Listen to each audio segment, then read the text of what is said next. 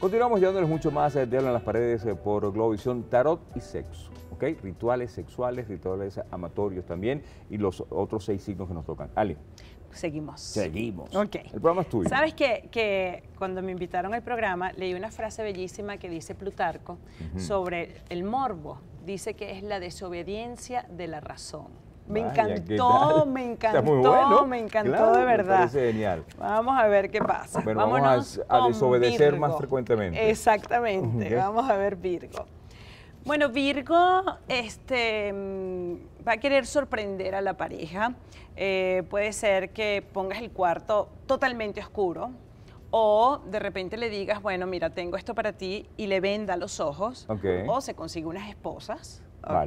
Entonces, este, Virgo va a querer eso, manejar la situación con, con un nerviosismo sabroso que la persona no sepa con qué me va a salir este hoy.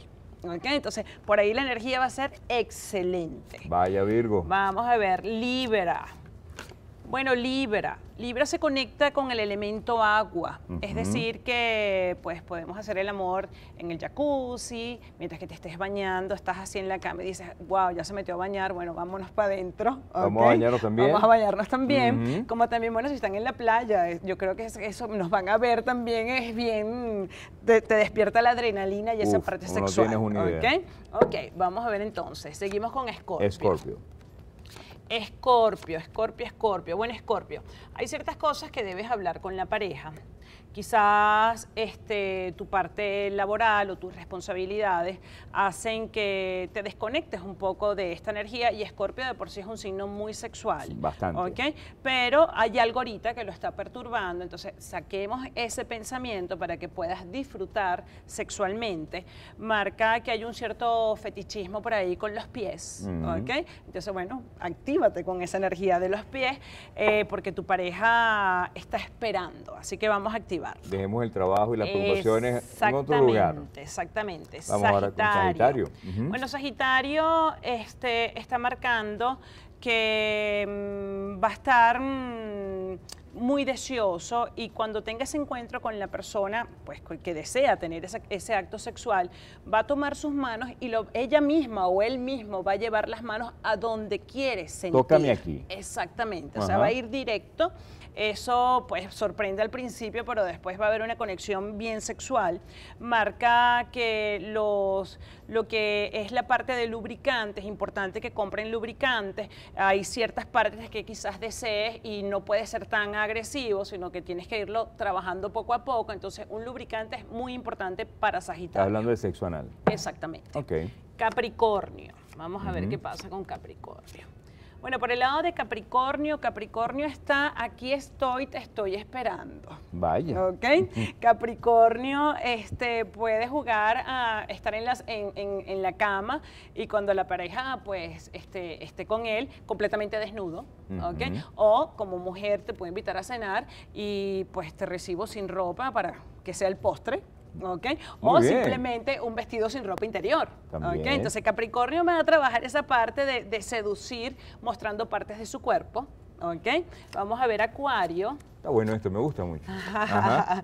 Acuario este, va a trabajar mucho con, con- con los- lo- el sabor, la lengua. ¿Ok? La parte de sexo oral y, intercambiar fluidos con la lengua pues va a estar súper activado. Eh, también marca que Acuario em, puede sorprender a la pareja mientras que está durmiendo, o sea que Acuario va a estar ahí bien conectado con la parte sexual. Y Pisces, este signo que, que sueña tanto, que tiene tantas fantasías, eh, Pisces va a jugar mucho con tocar esas partes donde sabe que la pareja se excita, se va a dedicar. Piscis va a estar de verdad bien conectado a dar placer para después luego recibirlo, pero al principio va, va a ser como, como el esclavo de esa Es parte. válido. ¿ok? De esa Yo soy parte. pisciano y dando en todo, Muy uh, bien, muy me bien. gusta eso, muy hacer bien. sentir. Sí, hacer sentir. Entonces, Piscis se conecta con esa energía. Entonces, bueno, ya saben, esos son nuestros consejos por el lado del tarot sexual. Eh, pues pónganlo Me en práctica. parece espectacular. Ok. Estas, estas rocas, estas piedritas que son, Ajá. Cuéntame Bueno, un poquitico de eso. Traje un cuarzo rosa y traje un cuarzo citrino. Entonces el cuarzo rosa activa todo lo que es la energía del amor, Y el cuarzo citrino hace que vivas el presente. Qué bueno. Que te conectes con el presente. Y también por ser el cuarzo del sol, cuando tú me dices, o alguien viene y me dice, vale, yo voy para una fiesta y nadie me mira. Voy para un Mm. centro comercial y parece que ni polvo levanto, ¿ok? Ok. Entonces, esta energía del cuarzo citrino que tiene que ver con el sol, por ahí vamos a hacer un, un- un baño con girasoles. Ya en la próxima parte. Hace eso, que la gente te vea, que tu ego se eleve, que esa luz se eleve. Bueno, ese baño tal cual, ese ritual lo vamos a hacer en la próxima parte, así que ni se le ocurra moverse de la señal de Globovisión y regresamos con mucho más de Hablan las paredes. Ya venimos.